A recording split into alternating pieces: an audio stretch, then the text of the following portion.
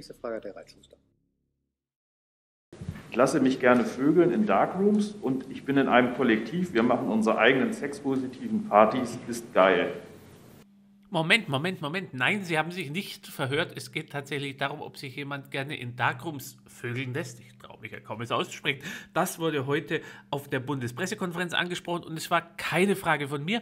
Es war eine Frage vom Kollegen Christian Vollrath von der Jungen Freiheit. Eine Frage, wie man sie von den meisten anderen Kollegen nicht erwartet hätte. Schauen Sie sich das an. Ich gebe nicht mehr meinen Senf dazu. Voila. Ich hätte eine Frage ans äh, BMVG. Ähm, es bezieht sich auf den Fall der Frau Oberstleutnant B., die als äh, Transgender eine gewisse Prominenz erzählte und in einem öffentlich zugänglichen YouTube-Podcast unter anderem sagte, ich zitiere wörtlich, ich lasse mich gerne vögeln in Darkrooms und ich bin in einem Kollektiv, wir machen unsere eigenen sexpositiven Partys, ist geil. Auf unsere Anfrage, inwieweit dies mit 17 Soldatengesetz vereinbar ist oder eben nicht, wonach das Verhalten eines Soldaten auch außerhalb des Dienstes das Ansehen der Bundeswehr nicht ernsthaft beeinträchtigen darf, halten Sie mit, Sie könnten dies aus Gründen des Persönlichkeitsschutzes nicht kommentieren. Im Unterschied dazu haben Sie im vergangenen Jahr im Fall eines anderen Offiziers, der als Referent bei Ihnen im Haus tätig war und bei Instagram ein falsches Gefällt mir geklickt hat, hier in der Pressekonferenz sowie via Twitter die Vorwürfe gegen den Soldaten aufgegriffen und mitgeteilt, man werde das umgehend und sorgfältig prüfen und habe sofort Ermittlungen eingeleitet. Ich frage also, wie begründen Sie diese Ungleichbehandlung? Wieso gilt für den einen Offizier, der sogar prominent in der Öffentlichkeit steht, der Persönlichkeitsschutz und für den anderen nicht? Das trifft sich gut, dass Sie mir die Frage stellen, denn ich habe Ihnen auf beide Anfragen geantwortet und es gilt nach wie vor der Persönlichkeitsschutz. Ich sehe überhaupt keine Ungleichbehandlung. Ich werde zu beiden keine Stellung nehmen. Was ich Ihnen aber grundsätzlich sagen kann, ist, dass wenn wir den Eindruck bekommen oder es Meldungen gibt, dass etwas unrechtmäßig läuft, dass wir dann selbstverständlich uns das sehr genau anschauen. Und darüber hinaus kommentiere ich beide Fälle nicht. Aber nochmal die Frage. Sie haben aber in dem vorigen Fall öffentlich diesen Fall durchaus kommentiert und der war einer konkreten Person zuzuordnen. Das teile ich nicht. Ich habe gar nichts kommentiert. Das sind Persönlichkeitsschutzrechte und alle werden gleich behandelt. Und äh, das gilt in beiden Fällen so. Und wie gesagt, also es gibt inhaltlich zu beiden Fällen nichts zu ergänzen. Inhaltlich nicht, aber Herr Thiels hat hier in der BPK dazu Stellung genommen damals. Ich habe meinen Ausführungen nichts hinzuzufügen. Herr Lücking dazu? Ja.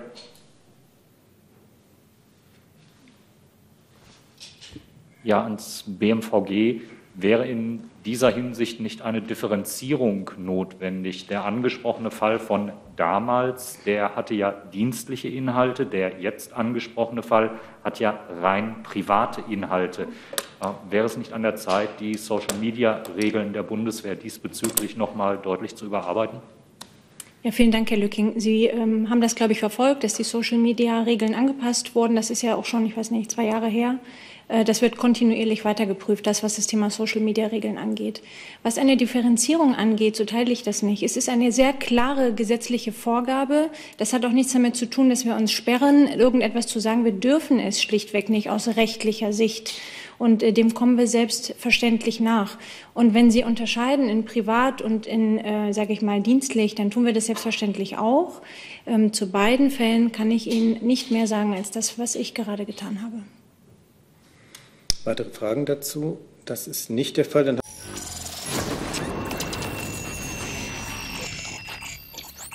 Nächste Frage hat der Reitschuster. Statt eines klassischen Backstages heute ein altes Video von mir, etwa zwei bis drei Jahre alt, in dem es genau um das Thema geht und auch um die Hauptfigur der Frage heute auf der Bundespressekonferenz. Sehen Sie es einfach an, bevor ich es lange beschreibe. Voila! Die Bundeswehr wird aber auch nach innen vielfältiger aufgestellt sein müssen. Nicht nur das Thema Männer und Frauen. Sie braucht viel mehr Menschen mit Migrationshintergrund. Sie wird in breiter Diversität sich aufstellen müssen, auch für Menschen mit Behinderungen, für Menschen mit unterschiedlichen sexuellen Orientierungen. Guten Tag und ein neuer Frontbericht aus Charlottengrad, der heute begonnen hat mit einem Video unserer Verteidigungsministerin. Auf dieses Video kam ich, weil ich vor wenigen Tagen mit Kollegen vom öffentlich-rechtlichen Fernsehen zusammensaß und ihnen davon erzählte und sie wollten es mir nicht glauben. Sie sagten, du machst Blödsinn und das kann nicht sein. Dann sagten sie, es muss Satire sein und Heutzutage hat man ja immer seinen Minicomputer, seine Britannica, sein Brockhaus in der Tasche und dann habe ich via Handy dieses Video ihnen gezeigt und die konnten sich gar nicht mehr einkriegen. Ich sage, das gibt's doch nicht, das ist unglaublich.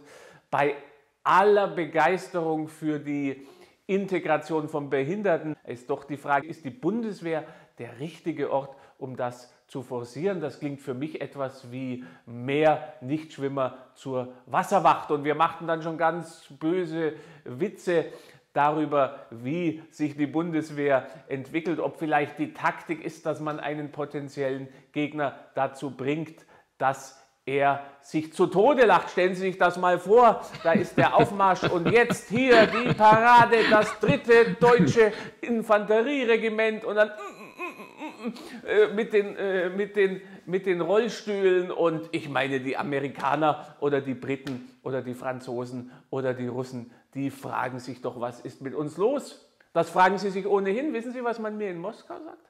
Da gibt es zwei Denkschulen, die sind sehr interessant. Die eine Denkschule in Moskau hinter vorgehaltener Hand, die sagen, naja, eure Armee Zitat, zitieren dürfen wir noch, ich sag's ja nicht, Vorsicht, Vorsicht, also alle politischen Sittenwächter, Zitat, Russland, nicht meine Meinung, die sagen, die Bundeswehr ist völlig verschwult und wenn wir euch angreifen wollten, dann würden wir das nach 17 Uhr machen, da ist die Kita zu, da würdet ihr euch überhaupt nicht mehr verteidigen und da würdet ihr nur sagen, ach nein, Krieg, nein, geht ja gar nicht, es ist schon Dienstschluss.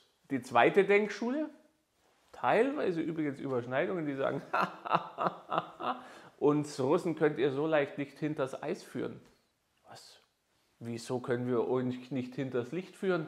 Dann sagen sie, ja, ja, ja, wir wissen, was eine deutsche Armee ist und ihr mit euren Fake News. Sag ich, Fake News, dann sagen sie, ja, von wegen Hubschrauber, die nicht fliegen, Schiffe, die nicht schwimmen, äh, Kanonen, die nicht schießen, äh, Flugzeuge, die falsch betankt wurden, dass ihr keine Munition mehr habt. Wir glauben euch kein Wort, ihr wollt nur unsere Wachsamkeit einschläfern, ihr wollt uns träge machen, ihr wollt uns einflößen, ihr seid nicht bis auf die Zähne bewaffnet und ihr seid nicht wehrhaft. Aber wir haben das in der Geschichte erlebt und wir glauben euch kein Wort, dass die Bundeswehr in so einem Zustand ist. Und da kommt man sich als Deutscher dann etwas dumm vor, wenn man entgegnen muss, nein, da gibt es wirklich Probleme bei der Bundeswehr. Das wird einem nicht geglaubt. Und das, obwohl in den russischen Medien viel darüber berichtet wird, zum Beispiel über die Kommandöse, die, äh, eine Frau, die zur Kommandeurin ernannt wurde, die ein umoperierter Mann ist, was in Russland mir dann sogar Freunde vorhalten und sagen, schau dir mal an, wie böse unsere Propaganda ist, die machen von nichts mehr. Stopp, die greifen selbst die heiligen Dinge an und verbreiten solche Fake News und da sitze ich dann etwas gequält da und sage, ja, es ist keine äh, Fake News und als guter Patriot verteidigt man das dann natürlich auch selbstverständlich. Ich sagte, das muss so sein und Diversität und ihr habt keine Ahnung, was echte Wehrhaftigkeit ist und in einer Armee, ihr verwechselt das, ihr Russen, in der Armee kommt es auf Diversität an und äh, wenn die Anteile der jeweiligen, Sie glauben mir das nicht, Sie sagen dann, du machst Quatsch, aber ich muss ja, muss ja patriotisch sein im Ausland, was will ich denn machen? Es ist ohnehin, also unsere deutsche Bundeswehr, die stellt die Russen vor riesige Aufgaben. Die Dechiffrierabteilungen im KGB und im Kreml, die haben, bin ich überzeugt, ich weiß es nicht, ist ja geheim, aber ich bin überzeugt, die haben schon Sonderabteilungen und Krisenstäbe gebildet, weil sie versuchen zu dechiffrieren, was sich hinter dem Begriff Unisex-Toilette für ein neuer Gefechtskopf verbirgt. Die versuchen herauszukriegen, was wir in Wirklichkeit für eine neue Wunderwaffe meinen, wenn wir von Frauenpissoirs sprechen. Und äh, sie sind mit Sicherheit rauchen die Köpfe und sie sind am Verzweifeln, weil sie sich denken, was haben die Deutschen da wieder ausgeheckt? Warum können wir diesen Code nicht knacken? Warum wissen wir nicht, was das für ein neues nukleares Rüstungsprojekt ist, das man als Unisex-Toilette bezeichnet? Der Gedanke, dass Unisex-Toiletten wirklich Unisex-Toiletten sind und dass darüber die Diskussion geführt würde, der wäre für die Russen etwas abwegig und das würde man dort überhaupt nicht glauben. Und deshalb fehlt in Russland das Verständnis für dieses unglaubliche Friedensprojekt. Es ist eigentlich eine großartige Sache, eine Bundeswehr, die sich quasi selber auflöst, ein Land, das so pazifistisch ist, dass es die eigene Armee zu einer Art Wohltätigkeitsveranstaltung machen möchte, zu einem Wanderzirkus. Sie werden mir das nicht glauben, das deutsche Kontingent in Litauen das dort eingesetzt wird mit vielen anderen NATO-Ländern. Diese anderen NATO-Länder haben alle höchst moderne Verschlüsselungstechnik für ihre Kommunikation. Die Deutschen haben dort eine Verschlüsselungstechnik, die ein Kind mit einem Funkgerät abhören kann und die ganzen anderen NATO-Länder mussten dann für viel, viel Geld ihre Sicherheitstechnik downgraden, damit die so primitiv wird, damit sie auch mit der deutschen Sicherheitstechnik, mit unserer Kommunikation mithalten kann. Ja, es ist eigentlich nicht zum Lachen, es ist eher zum Heulen und es hilft nur Galgenhumor. Es hilft nur der Humor zu sagen, es sei ein Friedensprojekt, aber in Wirklichkeit ist es das natürlich nicht, weil Frieden funktioniert ja nur durch Abschreckung, wie die Geschichte leider zeigt. Es ist eben nicht ein großer Kindergeburtstag auf der Welt. Es ist eben nicht so, dass alle Vegetarier sind und leider haben das viele bei uns nicht begriffen. Wenn man sich die Geschichte ein bisschen anschaut, dann sieht man, dass das ins Auge gehen kann. Wollen wir hoffen, dass wir Glück haben auf was anderes als auf Glück, kann man eigentlich kaum noch hoffen. Danke fürs Zuschauen, alles Gute, auf Wiedersehen, abonnieren Sie uns, bleiben Sie dran, schauen Sie wieder rein.